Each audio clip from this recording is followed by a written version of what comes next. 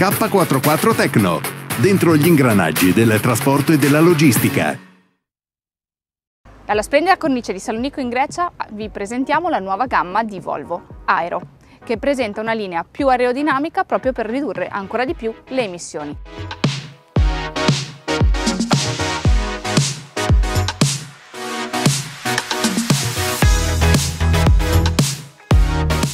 L'abbiamo provato per più di 300 km su più motorizzazioni e questo è quello che ne è uscito.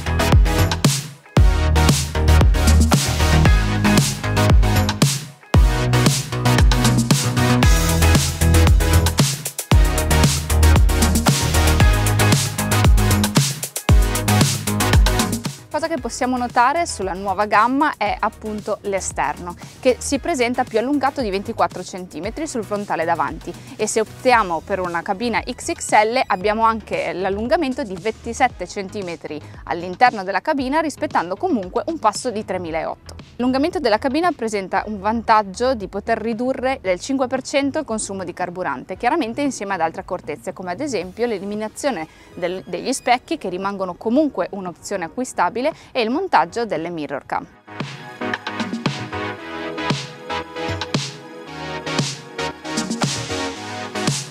La nuova gamma presenta delle novità anche sul lato estetico.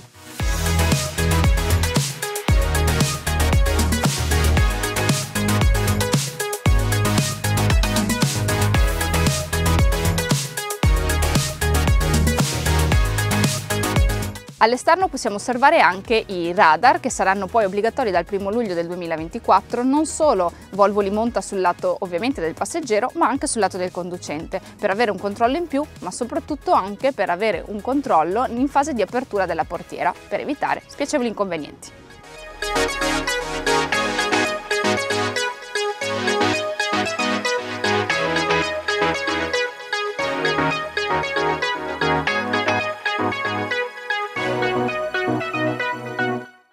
Comfort e sicurezza sono il focal point di Volvo anche quest'anno e lo garantisce grazie all'utilizzo delle mirror cam che grazie al panning permettono al conducente di poter seguire il rimorchio in tutte le fasi di manovra, sia in fronte marcia che in retromarcia.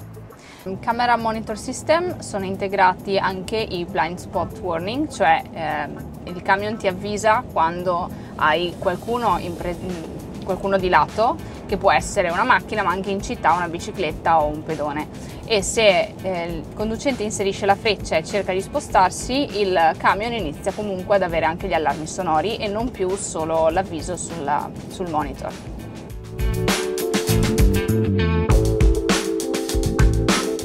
Upgrade anche per il cruise control adattivo che diventa Pilot Assist. Ovviamente non è un sostituto del conducente ma appunto un assistente.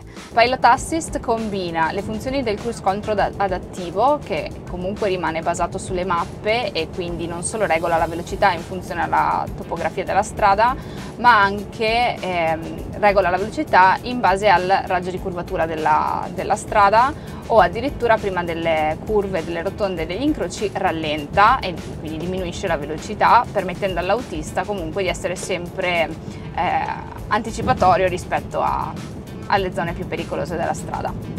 Certo che voi autisti adesso non volate per la strada perché no. gira da solo. Non Infatti, non dobbiamo più fare niente. Cosa servite? Niente, noi assistiamo, assistiamo. vediamo il camion lavorare. La cosa veramente interessante a livello di sicurezza è che in caso di malore del conducente il camion dopo 15 secondi manda un avviso sullo schermo e se non avviene nessuna interazione dopo altri 15 secondi iniziano gli allarmi ma dopo 45 se il conducente ancora non interviene il camion inizia a rallentare da solo fino a fermarsi, attiva le quattro frecce, accende le luci in cabina e sblocca le porte per garantirne i soccorsi. Quello che vedete alle mie spalle è l'FH16 con la nuova motorizzazione D17 disponibile con tre potenze differenti, 600 cavalli, 700 e 780, che presentano nuove coppie 3000, 3004 e 3008. In più è stato potenziato anche il freno motore che arriva fino a 525 kW, garantendo così non solo prestazioni di consumi migliori, ma anche prestazioni elevate in tutte le situazioni.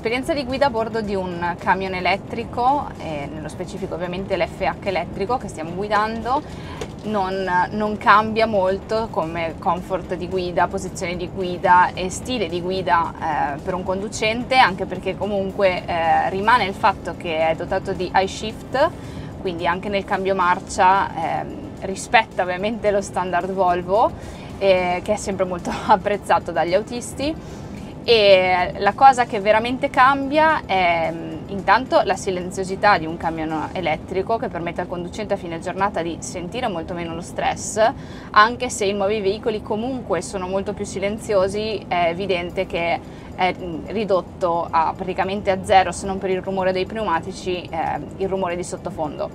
In città invece con la possibilità di avere il, mm, il retarder, la leva del web eh, A1, possiamo sfruttare la guida one pedal, ovvero semplicemente giocando con il pedale dell'acceleratore, premendolo e rilasciandolo, possiamo rallentare ma anche fermare il veicolo.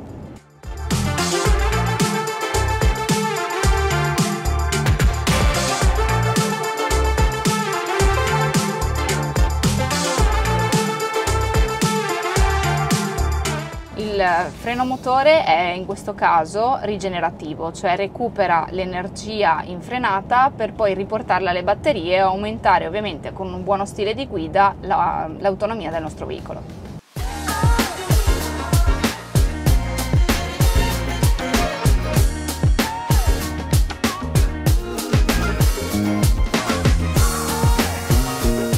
Abbiamo visto la nuova gamma più ampia e efficiente della casa svedese.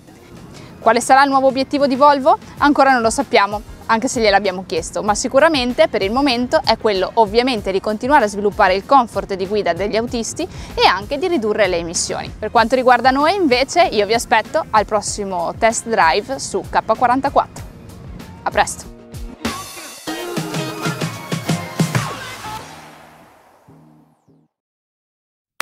K44 Tecno vi ringrazia e vi dà appuntamento al prossimo episodio.